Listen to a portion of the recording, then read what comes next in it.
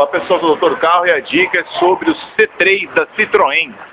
Sistema de freio traseiro do C3 tem uma configuração diferente, tá vendo? Ele tem uma mola que puxa aqui o acionador do freio de mão, do freio de stop, que tem uma outra mola bem aqui, ó, tá vendo?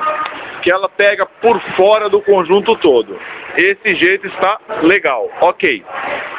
Mas, but, se você colocar esta mola aqui por dentro e não aqui, acontece isso, ó.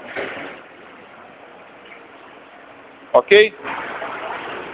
Então, esse jeito aqui é o jeito certo de você encaixar esta mola. Tá vendo? Sem crise. Ok? Aqui o sistema de fixações das travas também. Ok? Então esse conjunto já foi trocado em alguma outra empresa. Mas nós tivemos que tirar aquelas marquinhas que você viu no tambor aqui. Que estava fazendo barulho. Então montaram errado. Aqui eu acredito também que deva usar duas chapinhas dessa e não uma dessa. Certo? Então, provavelmente ele perdeu essa pecinha, a última empresa que mexeu, o último profissional, e acabou instalando essa. Que essa daqui, não. E essa aqui, ok. Então, montou errado, tá bom?